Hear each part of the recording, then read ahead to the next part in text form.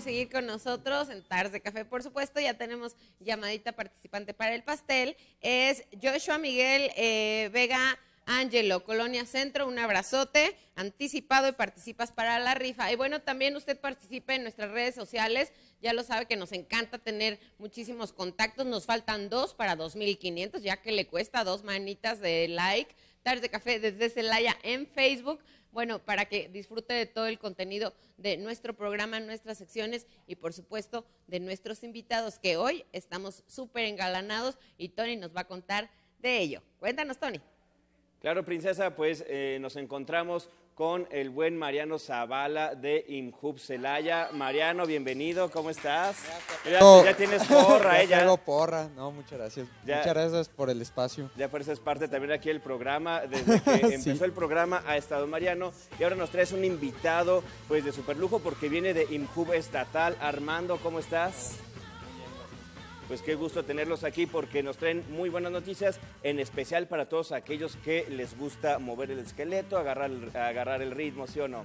Sí, bueno, venimos aquí a Eras por el Espacio y a presentar un poco lo que es Ponle Ritmo, ¿no? Es el encuentro estatal de baile, una competencia que vamos a tener y que se celebrará la gran final aquí en Celaya, en el Auditorio Tres Guerras, el día 24 de marzo. 24 de marzo. ¿Ya están ahorita eh, en las eh, etapas de selección o, en, qué, en qué etapa se encuentra este evento? Sí, ya estamos en la etapa municipal. Eh, podrán participar todos los jóvenes, en este caso celayenses, podrán participar todos los jóvenes del estado, pero bueno, en lo que compete al municipio de Celaya, está abierta la convocatoria, cierra el próximo 10 de marzo, es para todos los jóvenes entre los 18 y 29 años de edad que quieran participar, que quieran, bueno, en, este caso pasar a la etapa estatal donde Celaya será sede. Cabe resaltar que este evento, esta etapa municipal, viene apoyada con, otro joven empresario, emprendedor, eh, ganador del premio municipal de la juventud en la categoría de joven emprendedor, por ahí a Omar Hernández, al cual le mando un cordial saludo que bueno, pues obedece a lo que estamos haciendo como administración, ¿no? Trabajar juntos, sociedad y gobierno, eh, por, la, por, la juventud en este caso. Y bueno, vienen tres distinciones, no sé si nos... sí, aquí, se, aquí dividiremos la, el evento en profesional y en amateur. En cada uno de ellos viene vale latino, vale regional y vale moderno. O sea, profesional para quienes ya traen, eh, pues... Una academia de baile, ya estudios, exactamente. Y amateur, pues, para que, todos aquellos chavos que estén en la universidad este, y que tengan algún grupo de, baile, danza, jóvenes que se han juntado y ya no están ensayando, pueden entrar a la parte amateur para que puedan competir entre ellos. Y ahorita se pueden inscribir, eh, ¿cómo lo hacen? ¿Tienen que ir en cubo o, lo hacemos a través de Están las dos partes, pueden consultar toda la convocatoria, bases, participación y todo a través de jóvenes.guanajuato.gov.mx y por nuestra, nuestro portal de Facebook, Guanajuato Joven. Cualquier cosa, ahí van a estar todas las convocatorias. En la parte estatal se explica pues cómo es la logística, quién participa, el tipo de premios que se llevará el primer, el segundo lugar y todo. Y ya en la etapa municipal, pues cada municipio está haciendo, como Mariano aquí bien comenta, este, su, eliminación municipal, ¿no? Y los ganadores irán yendo a la etapa estatal.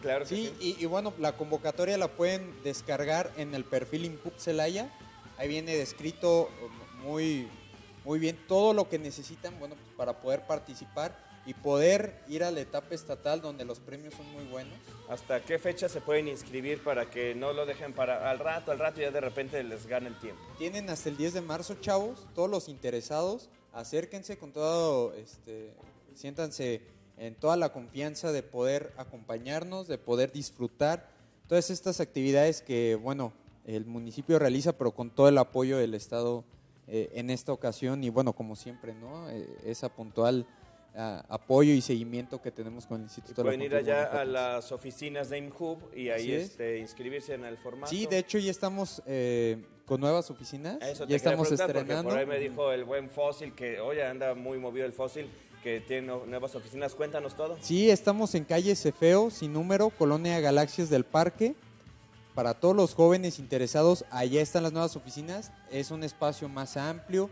Tenemos cancha de usos múltiples, tenemos gimnasio al aire libre, un equipamiento muy importante para los jóvenes y realmente los invitamos a que se den una vuelta y conozcan lo que, lo que tiene el gobierno municipal para los jóvenes, en este caso eh, como Instituto de la Juventud, ¿no? Porque bueno, hay Sí, es muchas que está dependencias para creciendo los cada jóvenes. vez. Así es. Siempre van de una oficina más grande, más grande, bueno, ahora hasta cancha, gimnasio, enhorabuena, Así es. eso es lo que se necesita. ¿Cómo ven ustedes a nivel Estado eh, el trabajo que está haciendo IMJUBA aquí en Celaya? No porque esté Mariana ahorita, ¿verdad? Pero este, si quiere le tapamos los oídos. Ahorita hacemos ahí otro me segmento. salgo y ahorita otro segmento. No, la verdad que hemos trabajado, este, el municipio ha trabajado muy bien con el Estado. Se ve que han invertido en el tema de juventud. O sea, los hechos son la oficina que se estuvo trabajando y que gestionaron para que fuera un espacio digno. La verdad que es un espacio, como comenta Mariano, que tiene lo que se busca para el desarrollo de juventud, no tanto deporte, cultura y un espacio también de estudio, que son los centros Poder Joven, que viene también una etapa de la federación que se integra ahí. Entonces, es una parte muy integral en una zona que necesita intervención y en un espacio donde va a estar realmente se le puede sacar mucho fruto para evitar cosas, ¿no? Entonces creemos que el municipio está haciendo bien y prueba de ello es que pues hemos trabajado para traer eventos grandes a Celaya, ¿no? Y, y creo que nos ha ido muy bien. Y este es uno de estos eventos, porque eh, tener a Celaya como, como sede de la gran final estatal, pues habla muy bien. Eh, entonces los 46 municipios están invitados, van a hacer eh, eh, la selección cada municipio, por lo que entiendo, y al final los mejores van a competir Así es. o sea, en estas categorías. Mira, hasta una, dos, tres, tiempo, así así es.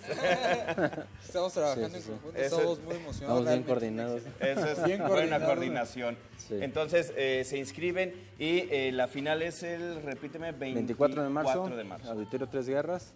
Estaremos empezando desde mediodía, yo creo, y terminaremos hasta tarde-noche para todas las familias también de los, de los chavos que participen, este, familiares, amigos, tíos, sobrinos, novias, Así que es. vayan a echarles porras. Queremos un auditorio lleno para que los chavos realmente estén motivados. ¿no? que se- también se, se vale, como dices, llevar este, ahí la porra y, y apoyar al grupo, o individual, porque este, eh, puede ser alguien individual que, oye, ¿sabes qué? Yo hago breakdance y lo hago así solito, ¿puedo inscribirme solo Bueno, o es en no, grupos? más bien es en grupos. El mínimo de integrantes es de 5 y el máximo es de 8. Ah, muy bien, de 5 Entonces, a 8, o sea, si yo digo, sí. pues nada más somos dos que salseamos, pues júntate, Júntate otros a otro tres. grupo, sí. Y, y ya pueden. Ah, y Así por es. ejemplo, eh, en, en profesionales, si alguien como el ballet folclórico, el tecnológico, que ya tienen mucho tiempo, pero hay jóvenes que pues tienen la edad y cumplen, pueden armar algo y, y participar. Sí, claro, entrar en una categoría tradicional, yo creo, y se pueden estar participando con nosotros. Ojalá haya muchos breakdances, están lo- logrando Sí, cosas buenas. La verdad es que se está abriendo para todos los gustos, sabores, colores. Está realmente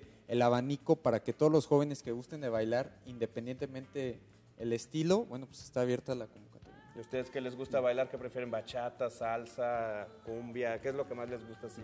Yo voy a ir a aprender a ver qué puedo salir de Sí, ¿cuál quieres aprender? Yo, por ejemplo, quiero aprender eh, salsa y, y cumbia, que es como lo básico, ¿no?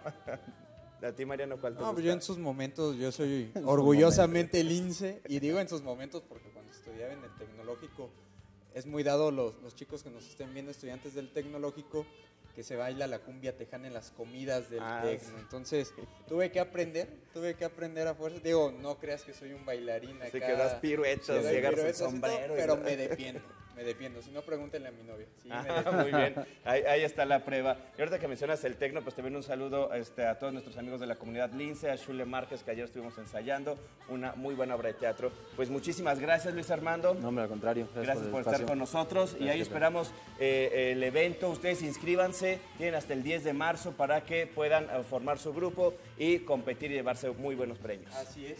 Pues muchísimo gusto tenerte por aquí otra vez, Mariano. No, muchísimas y gracias por la bienvenida que me dan. Sí, hombre, ya- ya porra y porra, ¿eh? Porra. No Sí, voy a sí, venir más seguido. Es que por si como- vengo seguido. Como sabemos que es año electoral, pues hay que apoyar.